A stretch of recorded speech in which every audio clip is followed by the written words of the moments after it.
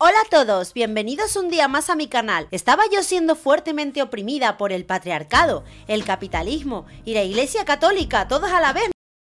Menuda orgía cuando me pasaron vía Facebook un artículo de Lo Español, que vale oro. Ya he mencionado varias veces a este diario, que en principio era de derecha, pero que ahora se deleita trayéndonos entrevistas jugosas a las progres de las Towanda, y que de derechas tiene lo que yo de oprimida. Resulta que al parecer estaba súper equivocada, y no fue la obtención de la igualdad ante la ley la que hizo que las mujeres y los hombres fuéramos ciertamente iguales, ¿no? Resulta que fue Pipi Calzas Largas la que nos emancipó del yugo patriarcal que nos oprimía desde los albores de la humanidad y más allá. Gracias a las enseñanzas de Pipi, todo un ejemplo de elegancia y buenas maneras, educación y sabiduría milenaria, pudimos desprendernos de la opresión machista, franquista, católica, fascista, nazi, misógina, racista y xenófoba a las que estábamos sometidas. ¿No me creéis? Bueno, pues la periodista de lo español, Marina Inglés, no opina lo mismo. La autora de artículos tan interesantes y conciliadores como Las escritoras divertidas también quieren un premio, un grupo de escritoras cómicas han tenido que crear un premio en Reino Unido para ayudar a que se reconozca su labor. Esto es tan triste como darse autolikes a los estados de Facebook. Eh, bueno, a lo mejor si dejaréis de hacer chistes sobre la menstruación o la brecha salarial fantasma esa que os habéis inventado o sobre lo insoportable que es vivir con un hombre e hicierais chistes de otros temas que hicieran gracia, pues podríais competir al nivel de los hombres y no tener que caer tan bajo de daros un premio a vosotras mismas. O por ejemplo, arriba las curvas Beyoncé derriba el canon de belleza patriarcal. Beyoncé saldrá en la edición más importante de la revista Vogue sin apenas maquillaje y reivindicando la belleza natural, las curvas y lo importante de la diversidad. Como si a los hombres no le gustaran de siempre las mujeres con curvas. Y ese supuesto canon patriarcal no hubiera sido impuesto por homosexuales misóginos que odian el cuerpo femenino, desde el mundo de la moda y las pasarelas, y además secundado por mujeres ricas. O por ejemplo, Hollywood es igual de machista que hace 11 años. Solo el 31% de los personajes son mujeres. La Universidad del Sur de California ha realizado un estudio en el que demuestra el largo camino que le queda al mundo del cine para convertirse en una industria diversa e inclusiva. Vaya, ¿y no será que los guiones no requieren de más personajes femeninos? ¿No será que los principales consumidores de cine mainstream comercial son hombres y que estos no se sienten identificados con protagonistas femeninas que entre otras cosas se dedican últimamente a ridiculizar a los hombres? O Rodin, el genio pervertido que buscaba sexo con sus modelos y alumnas. Vaya, ahora vamos a juzgar el comportamiento de un hombre de su época, cuya vida privada es eso, privada, y vamos a manchar su obra a través de sus actos. Eh, pues bueno, muy bien. Bueno, pues esta señora que ha escrito todos estos artículos tan conciliadores cree que Pipi Calzas Largas fue la verdadera instigadora de un cambio paradigmático en la manera que tenemos las mujeres de comportarnos. Vamos a ver este desquiciado artículo, fruto de alguien que se preocupa por dividirnos y aumentar más la brecha de género entre hombres y mujeres. Dentro intro.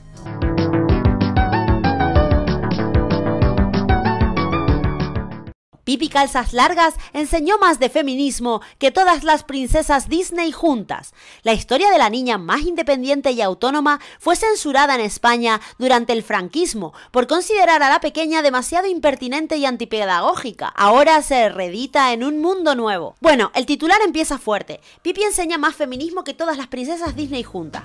Bueno, espero que tenga razón, porque las princesas Disney son en realidad mis referentes éticos, ya que son buenas personas y que se enfrentan a los problemas del mundo y de su época, no como las esquizofrénicas niñatas gritonas, que dan tanta vergüenza ajena y que representan al feminismo de hoy. Pipi Calzas Largas nació en 1945 de la mano de la escritora sueca Astrid Lindgren. Ahora, la editorial Blackie Books publica un libro trayendo a nuestros días las historias de la niña con las trenzas más famosas.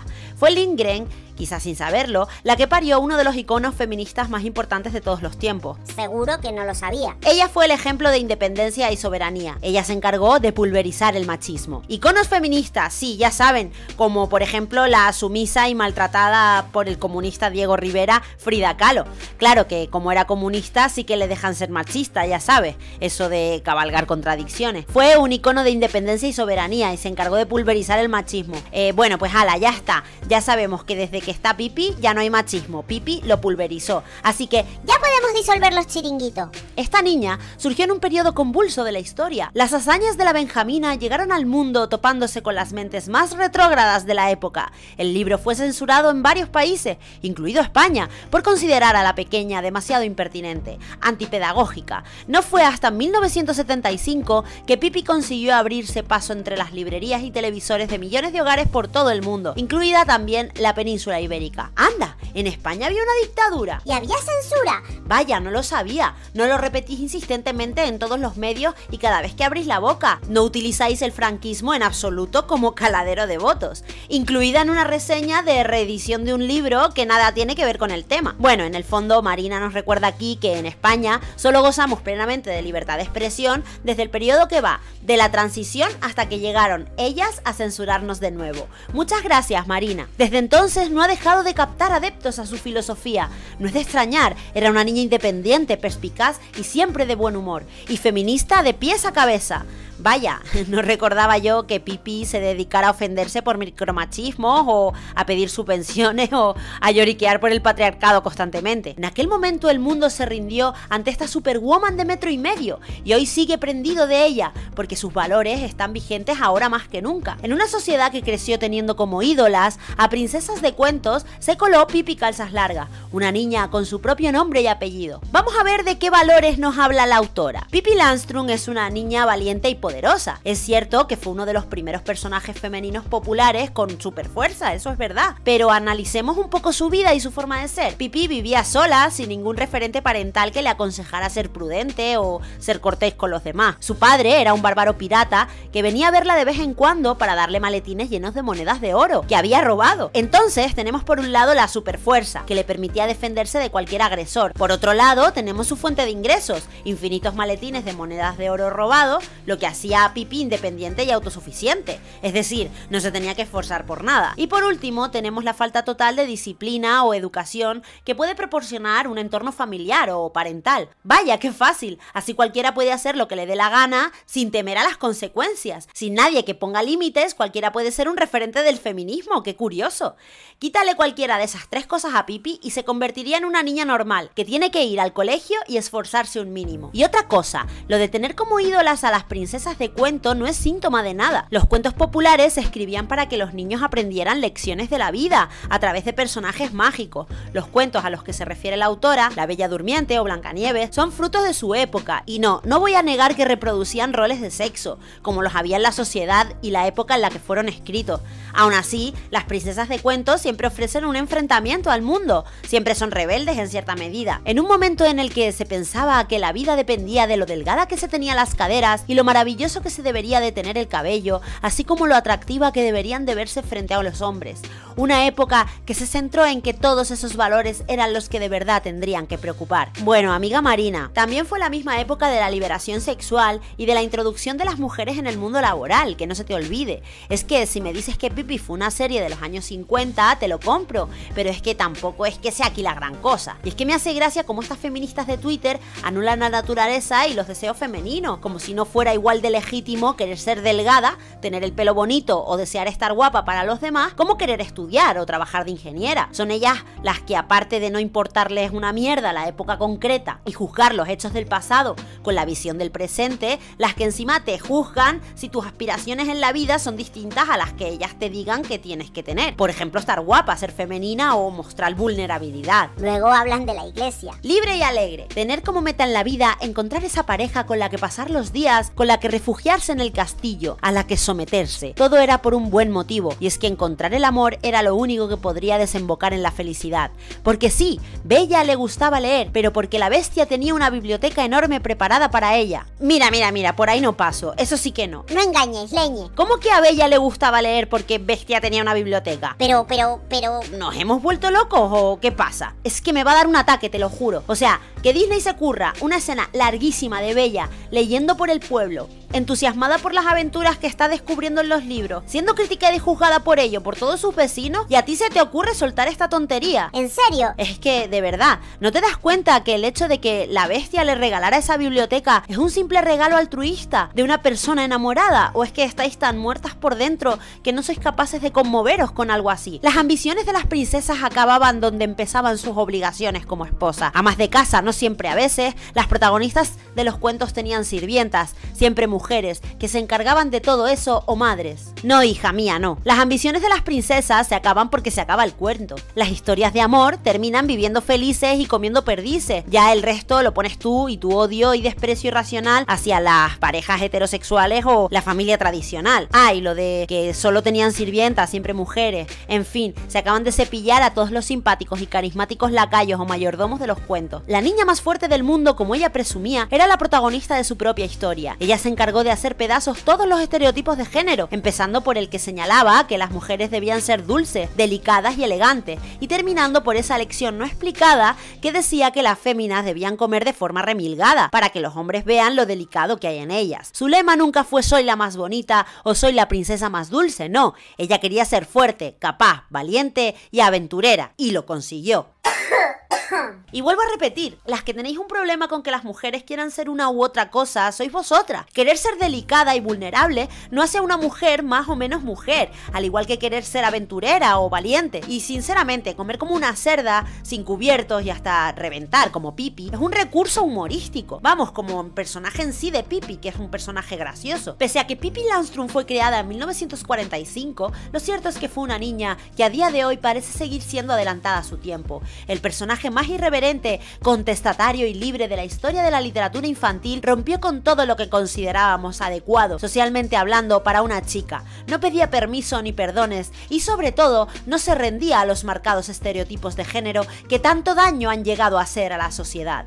a mí se me ocurren varios personajes femeninos a los que admirar más dentro de la literatura infantil, como Matilda, que aun teniendo superpoderes se esforzaba por aprender y ser mejor, y que su valentía sí que provenía de una debilidad, que es un rasgo que comparten todos los personajes complejos y profundos. Y su debilidad era el miedo que le infundía a la profesora Trunchbull. O bueno, por ejemplo, Mafalda, que mediante el humor y la sátira cuestiona todas las miserias de los adultos. O por ejemplo a Katniss Everdeen, que desafió a todo un sistema político y verdaderamente opresor usando su ingenio y su talento, y cuya motivación además era el amor. Y tampoco quiero ser pesada, ya que desde este canal ya lo he hecho antes, pero quiero reivindicar una vez más el papel de las princesas Disney.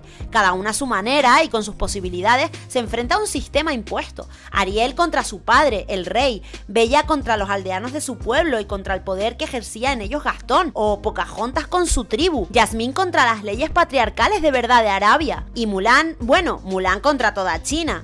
Son todas valientes, fuertes y poderosas. Lo que pasa es que como las feministas odiáis la feminidad y sois misóginas de verdad, nos dais cuenta que el poder, la fuerza o la destreza no tienen por qué pasar por ser un marimacho o ir hecha una espantaja. No hay que imitar a los hombres para ser poderosa, ni tampoco ser una parodia ridícula. Mediante la feminidad, lo cursi y lo coqueto también se puede expresar fortaleza, o si no que se lo digan a Sailor Moon. Pipi fue un referente y lo continúa siendo. Es importante comprender que es fundamental tener ejemplos como ella y no como Ariel. Hay que olvidarse de idolatrar a una sirena que es capaz de, de, desprenderse de una pierna para conseguir el amor de un hombre. ¿Una pierna? ¿No se había desprendido de la cola? Y una cosa, yo no sé qué película de la sirenita han visto ellas, pero en la que yo he visto, Ariel quiere ser una humana de antes de conocer a Eric. O no se acuerdan de la maravillosa canción parte de él. En este momento es cuando nos damos cuenta que Ariel tiene un interés exacerbado por el mundo exterior. Colecciona y clasifica toda clase de objetos que consigue metiéndose en barcos hundidos y arriesgando su vida en el proceso nos damos cuenta que es un ejemplo de perseverancia y que de verdad desea formar parte de ese mundo exterior que le está prohibido. Es una aspiración, es una meta para ella mucho antes de conocer a Eric. La sociedad tendría que hacer memoria y recordar a esa pequeña con trenzas cuya única preocupación era la de divertirse, ser independiente y valerse por sí misma. Mientras Blancanieves se perdía sola en el bosque y buscaba la ayuda para sobrevivir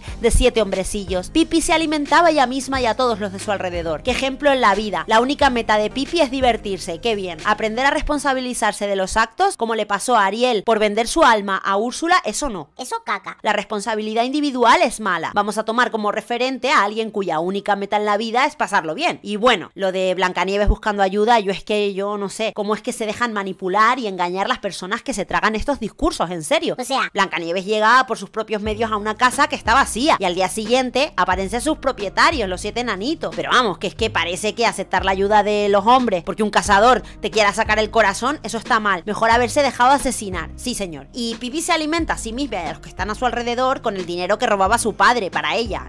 No tiene mérito y de hecho está mal. Ejemplo de mujer y valiente, maestra sin título ni edad, enseñó a concienciar y a llevar por bandera un no te preocupes por mí, que yo sé cuidarme solita. Y claro que sabe. Bueno, para empezar, no, no es una mujer, es una niña. Y sí tiene edad, es una cría, coño. Y actúa como lo haría cualquier niña que no tuviera padres. Conclusión, no os confundáis, a mí el personaje de Pipi me gusta, me gustaba verla de pequeña y vivir con ella sus divertidas aventuras. Me hacía reír con sus payasadas y con sus conversaciones con el señor Wilson y con pequeño tío. Pero sí que es verdad que con los años te das cuenta como tanto Anita como Tommy servían en numerosas ocasiones de freno a las locuras de Pipi. Eran como su voz de la conciencia, porque era necesario que alguien ofreciera el mensaje de que lo que podía parecer una idea genial a lo mejor no lo era tanto. Como he dicho anteriormente, todos los supuestos méritos de Pipi no son tales, son bromas, chanzas o gracietas con las que la autora pretendía crear un personaje humorístico, una caricatura. Y es que Pipi no es más que eso, una parodia de la infancia, un personaje divertido, extravagante, es un personaje al que se le coge gran cariño, pero por lo alegre y desastre que es. No es un ejemplo de nada más que no sea la alegría o la juventud. También se le coge cariño a personajes como Joy Turner en Me llamo Earl o a Eric Carman en South Park y no son ejemplos de nada bueno.